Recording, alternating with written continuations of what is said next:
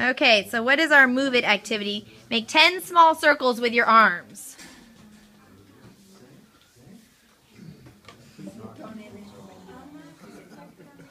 Those are not very small.